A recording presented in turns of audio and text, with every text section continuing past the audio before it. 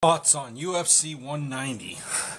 Rowdy Ronda Rousey defeated uh, Correia. Now, let me give you a, a kind of a perspective of how this happened. If you wanted to make yourself a sandwich, like right, right as um, Rousey was making her entrance, her walk up to the ring, octagon from the time that she was done with that walk up to you making that sandwich, you probably walked back into the living room and um, you missed the whole fight. It took 34 seconds for Rousey to knock out Correia. Let it be the lesson that uh talking all that smack, all that trash, you better be able to back it up in the ring. And Correia wasn't able to do that.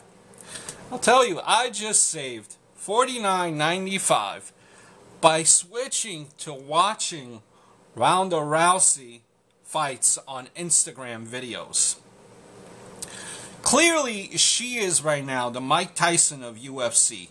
If you remember back in the day of boxing and the pay-per-views, when boxing was uh, at its prime, Mike Tyson was fighting.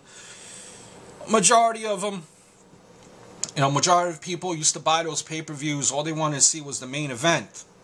That's what you were gearing up for. And that main event of Tyson lasted short time. A short time. This is what Rousey is right now. And I think sometimes being as dominant as she is can be, can be more of a bad thing than an actual good thing.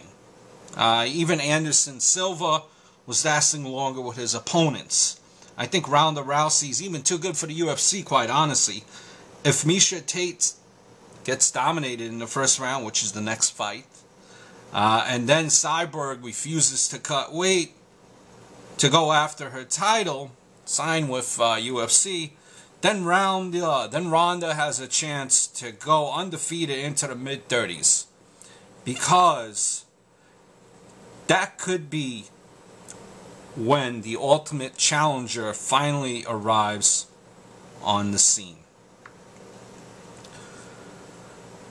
Cyborg, I think, really needs to drop weight to fight at that level.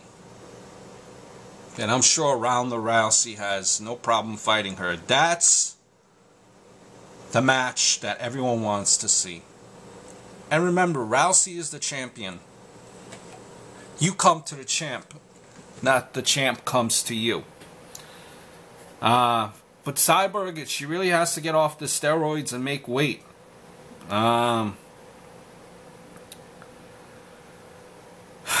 so, you know, that's the thing. Um, until then, I really don't see. You know, what competition do you see for Rousey?